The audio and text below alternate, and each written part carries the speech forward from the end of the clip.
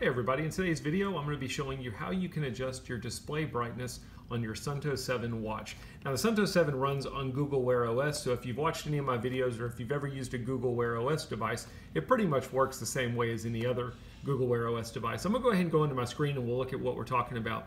You can see my current brightness is set to this. Well maybe that's not bright enough or maybe it's too bright. How would we adjust it?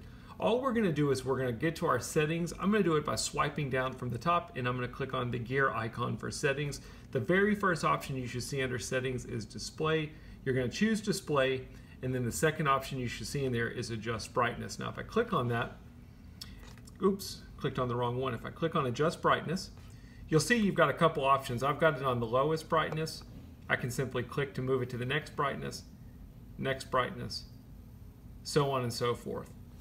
The other thing you can do is if you don't want to control the brightness manually, you've got the option to turn on auto. And what auto is going to do is it will adjust the brightness according to how much light is currently uh, where you are. So at nighttime, it'll make it brighter. And if you're out in the sun, it'll adjust it based on how bright the sunlight is.